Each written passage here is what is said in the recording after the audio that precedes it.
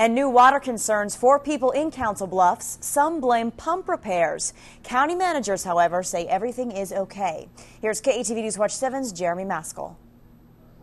But it's gradually making its way this way. Living just a few hundred yards from a Council Bluffs levee, Deb Pruitt could do without water creeping towards her house. Well, we figured with the rain we would get a little bit more. I mean, you know, but uh, the water has nowhere to go. Water stands in a field just west of Twin City Drive in Council Bluffs. Sunday, it reached a nearby street. Uh, it started out with just a little bit, and then it'll go down a little bit, and then it'll just come back up even more. That had some people packing, pulling cars out of the water's way. But county emergency managers say it's just temporary. A couple pumps along the levee needed repair, and backup pumps are not keeping up.